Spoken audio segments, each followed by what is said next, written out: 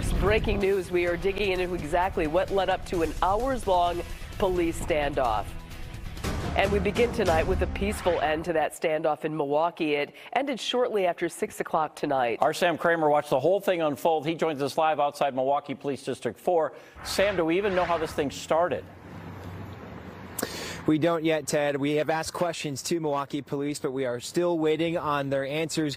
We do, though, we do know, based on calls into our newsroom, that viewers had been aware of this before 5 o'clock tonight. We'd like to show you some video from earlier tonight when we arrived on scene shortly after the Milwaukee Police Department's Tactical Enforcement Unit pulled up to this apartment complex near 85th and Brown Deer Road and went in. From our vantage point, you could see the officers were interested in an upstairs corner unit. Other Milwaukee police officers were blocking the road, and the U.S. Marshals Fugitive Task Force was helping too.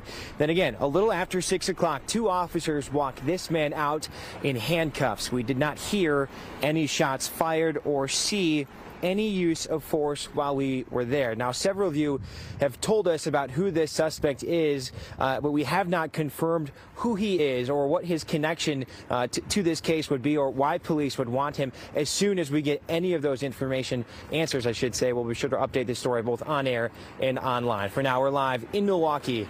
Sam Kramer, Fox 6 News. We will check back with you, Sam. Thanks.